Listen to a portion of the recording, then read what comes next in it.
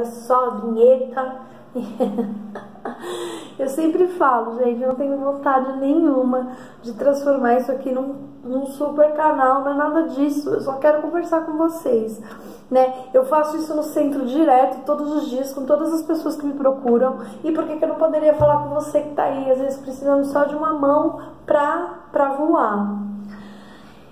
Eu acredito na potencialidade do ser humano, porque eu fui uma pessoa que descia a ladeira na neve.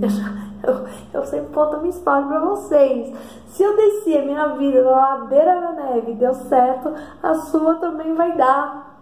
Porque eu sou igual a você. A única coisa que mudou foi que eu coloquei a minha cabeça numa visão diferente, nessa visão de positividade, de assertividade. Quando você coloca a sua cabeça numa visão de positividade, de assertividade, coisas maravilhosas começam a acontecer com você. Você vai falar pra mim, Andresa, é mentira isso, isso é coisa de conto de fada. Então é. Então eu vivo num conto de fada.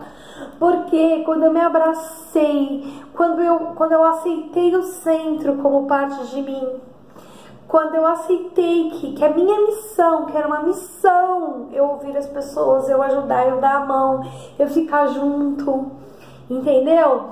É, por mais que algumas pensem diferente de mim, eu tenho que dar a mão, é a minha missão, né? Eu não nasci para ser doutora, eu não nasci para para ter aquela cara fechada, uma executiva séria, não. Eu nasci para estar tá aqui com você, falando assim, ó, dá certo.